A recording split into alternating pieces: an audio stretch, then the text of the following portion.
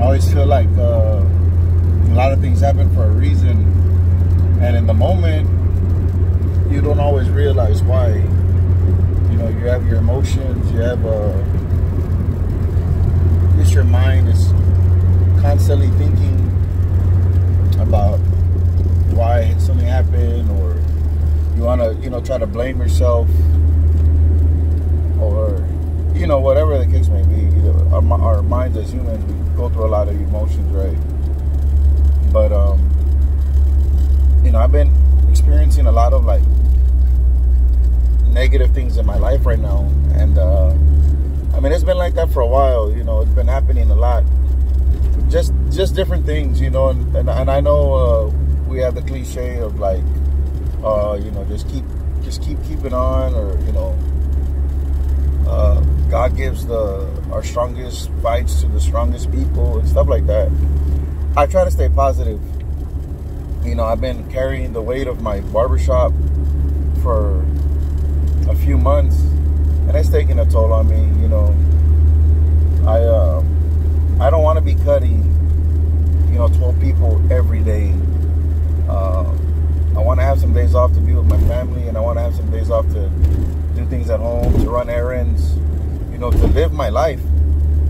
My whole life right now revolves around the barbershop because if I don't do that, I don't make enough money to cover my rent and my expenses because I don't have enough barbers. Um, I haven't even had time to go visit high, the, you know, barber colleges to try to recruit. You know, I keep relying on, I rely on God to, you know, provide the right people. And, um, it hasn't happened. So I'm just like thinking, like, why is that happening to me? Like, I don't try to, you know, try to help people. I try to be a good person. I'm not trying to earn the grace. I'm not trying to earn favor because uh, I know that's not how it works. But um, you know, there's times when I'm just like, I'm like, man, I, I would have thought by now that, you know, because I try to be as good. I have good intentions, but that's not that's not good enough either. You know what I'm saying? Like that's not a that's not another way of getting things done. Like God works on His time, and I have to accept that. Good and bad things happen, but God doesn't work on good and bad. Like things just happen, and everything happens for a reason. Uh, my dog has cancer. My son had just beat cancer. Now my dog has it. Now I'm so I'm like kind of traumatized by it because I'm reliving it again. And we're going through that. We're going through, you know, trying to keep the, the shop afloat. I'm, I'm trying to keep my sanity, you know, from having to work so much. And, uh, you know, it sucks, dude. I mean, regardless, you're like, oh, man, I wish I could make $1,500 a week. Yeah, I make that. But all of it goes to my barbershop. All of it goes to, you know, my, my, my, my bills, you know, just buying just regular stuff, buying groceries, gas, insurance, you know, all the stuff that we, we go on a day to day, and I don't feel like I'm living. I, I feel like I'm just living to work, and uh, it's tough, bro. Like mentally, it's it's tough, and then having to deal with you know stuff at the house, it takes a toll on you, bro. And uh, I, I say that to say this that when we talk about things happening for a reason, dude, it, it's gonna toughen you up. You know, I really feel like uh, I believe that things are gonna change in my life, and a lot of good's gonna come my way. Um, and I gotta hold on to that. I gotta hold on to that with, with everything that, that I have, man, because you if you don't, you'll fold, bro. You'll fold. Like if someone was in my shoes having all this frustration and having all these bad things happen, and you know, I don't, I don't even want to call them bad things, just like unfortunate, you know, things that happen. Like you know, there's a lot of people dealing with with issues, uh, and it could be a lot worse. And I don't like focusing on that. I like focusing on like moving forward and finding solutions and, and, and, and doing the things that I need to do to be successful. Whatever's in my power, like I already know I can't control everything, man. I, I can't. All I can do is is control what I can control. Make decisions that are gonna help me. Um, and I know there's there's powers beyond me that uh, you know things happen. You know, and I lost my puppy yesterday. I got home, had peed in their kennel, so I was gonna clean it. So I was like I just brought home dinner and I put the, the puppies outside, but our, my little one, Molly, she's a little bit more, she's smaller. She hasn't been growing as much as, as Zeus, which is my other dog. So she can fit underneath the fence like a real tight fit, but she can fit. But I didn't think that because we covered the, the, the the places that she could get out of. We covered them already, but there was some spots that we we missed and we overlooked. And man, she was outside for 20 minutes, bro. And, and you know, my girl went outside to, to go bring all the dogs in because her dad was leaving. He was in the backyard feeding the roosters and chickens and stuff.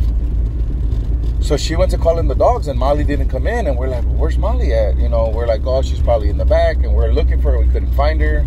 So then I'm yelling her name, and we're running down, you know, the block trying to see if. But man, in my neighborhood, there's a lot of cars that pass by, and if you see a, a, a badass little pit, you're gonna pick them up. You know, I already know that's how people, you know, people are, bro. They're not gonna stop and be like, "Oh, whose dog is this?" And then she didn't have her collar on because she was inside. We only put her collar on her because they chew it up. They they play with each other, and they'll chew each other's collars up. So we only put the collars on when we walk them, or when we take them to the park or something. And um, we hadn't got them chipped because they're so small. They're only what you know five months old. She's she's still tiny, so we didn't get her get her chipped yet. And uh, it just sucks, man. But you know now I have a you know I got on um I got on uh, Facebook and I got on Craigslist and I got on you know my neighborhood app offering you know I first offered 500 now I upped it up to a thousand and now we're gonna make flyers and pass them out and see what happens but you know I say that all to say this man like even when I'm in the midst of it even when I'm going through the the turmoil of life like you just gotta keep pushing man you gotta keep pushing uh and it's it's it sucks, dog. It, it's tough, man. It's really tough. Like all the stuff that I go through, and I try to stay positive. Just know, man, that there's always somebody out there dealing with something, right? And uh, you just got to keep pushing, no matter what. Um, you may not be where you want to be, but all the the valleys, the lows, you can get through it, man. You can get through it. Uh, you just got to stay positive and and pray, man. Like I've, I've been praying. Like doesn't mean that I, you know, like God doesn't work the way we've been taught. You know, thinking that oh man, if you do good, God good's gonna come your way. If you do bad, oh man, God's gonna punish you. It doesn't work that way, man. Uh, your relationship with God shouldn't be based on if you're living good or you're you're living bad. If God blesses you, oh man, it's a blessing. Thank you, God. And then when something bad happens, oh God, man, you're not protecting me, or you know, it's not that. Um, everything happens for a reason, and, and my reasoning for this happening is just like I, I wasn't I just wasn't prepared. I didn't it was a mistake by me not covering up all the holes and being, you know, thorough with my fence. And we spent a lot of money on our fence. You know, it was a five thousand dollar fence that they installed.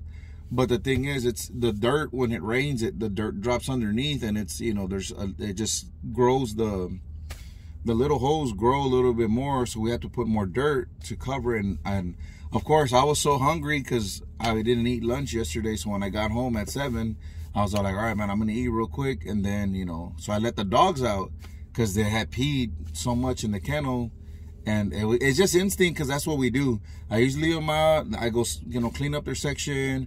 I let them play outside. I was going to go outside and go play with them. I was just eating my, my dinner and it just happened, man. It just, there's no blame to anybody. Like, if anybody, it's me. I, I should have been more thorough, but it's life and you learn and you learn the lessons and it sucks. There's a lot of stuff that sucks and you just got to keep pushing but um you know i just want to let everybody know out there that no matter what's going on in your life like you just got to keep pushing man and you know money's not everything and when you're up don't you know don't be wilding out. Like when you do get bread don't you know i'm gonna buy the louis i'm gonna buy the gucci i'm gonna buy the blah blah blah. And you forget about the essentials you forget about your foundation and bro, we're getting older and older, and barbers, like, if we're not cutting, we're not making money. So you have to find a solution to that. Whether you create your own product, you know, opening your school, taking over the, the building, buy the building, buy a, a real estate, some rental properties.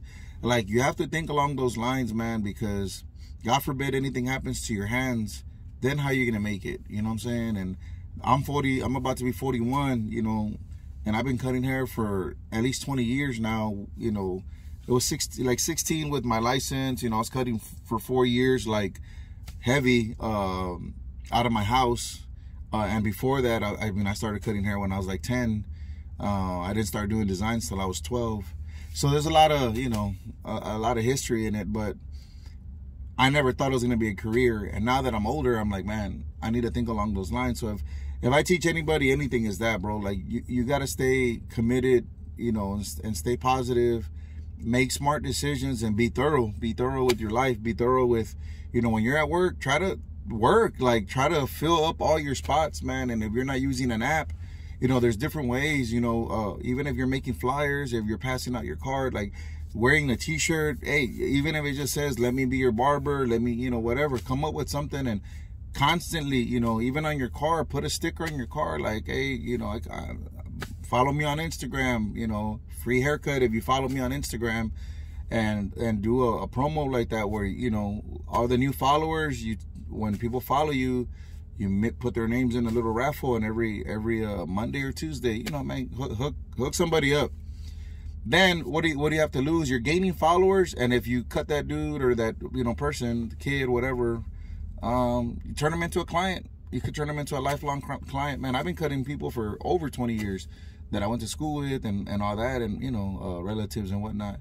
So that's a lot of money you can make off one person, man. And you build relationships, and networking is so important because you know when you do build relationships, it's like you inherit their relationships. You know what I'm saying? Whatever relationships they have with other people, you inherit that.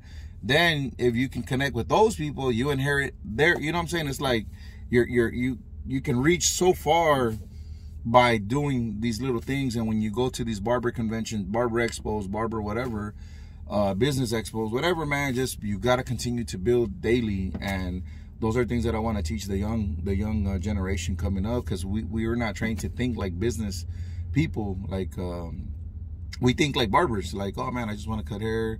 I want to do badass fades. I want to do badass designs badass edge ups badass enhancements. You know man i'm getting $60 a haircut you know what i'm saying? And uh, life is good but it's like no man you there's levels to this and you want to get to a level to where you're making money while you're sleeping. And um, that's where i'm at and it takes time you know and like i said dude, I, I go through a lot of trials and tribulations. It's not easy being joe. A lot of people rely on me a lot of people depend on me and being dependable is kind of like a, a, blessing and a curse. Because you're you're so dependable people depend on you. And then sometimes they take advantage of that you know what i'm saying and, and then when you need someone and you want them to be dependable they don't step up so it's rough man and life is hard life is tough but regardless you got to keep pushing so if anybody uh you know heard this message and it helped you you know i know my angles are are are, bad because I'm driving. But I just wanted to speak my mind real quick, man. I let y'all know, dude. Like it's it's not all it's not always, you know, it's not always sunshines, man. There's there's a lot of little things that add up. And when I get get to my shop, when I'm gonna go through that door, all my problems need to stay outside. Outside that door. When I go in, I can't carry that energy. I have to leave that energy outside. And that's the difference between a professional and someone that just cuts hair. Because it's like being a basketball player, football player, dog. You, you leave all that drama, all the problems, you leave that stuff outside. It's time to perform. It's time to get down. It's time to do, you know, do good. And you can't have that energy or that tension and try to cut hair and, you know, oh man, I'm having a bad day. You can't let that ruin, you know, your day. Your mentality is everything. Your mind controls the rest of your body, man. And if your mind, you're frustrated, and you're it's gonna show in your cuts, man. And you you gotta be strong enough to to turn that off.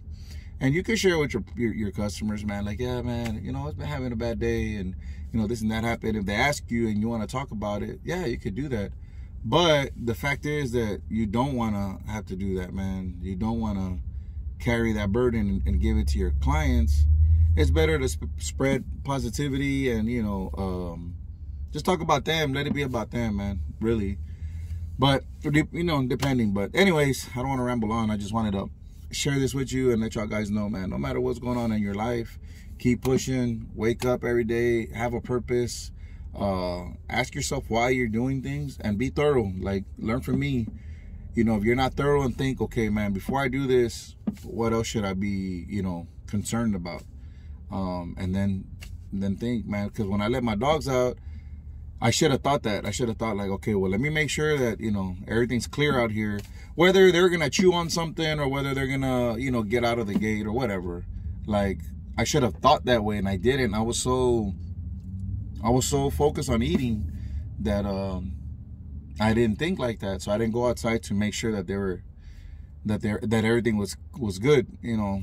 So it just it, it happens man. But hopefully i just pray that god somehow some way we get our dog back you know whether i don't care if it costs me a thousand dollars it's not even about the money. The dog you know it's the dog. We've invested so much emotionally into it and it's my son's dog and you know it's it's like it's she's part of the family and uh you know one of my dogs has cancer and he might not be around so long so it's like having her kind of helps you know and she she's like the she's like the crazy one. She's just funny. Her her characteristics are so like funny and it makes us happy so we're gonna miss her but i pray that god somehow you know brings her back. You know i'm not gonna question how but i believe he will and i'm just gonna trust in that and you gotta have a good day man. So all right y'all stay blessed y'all stay faded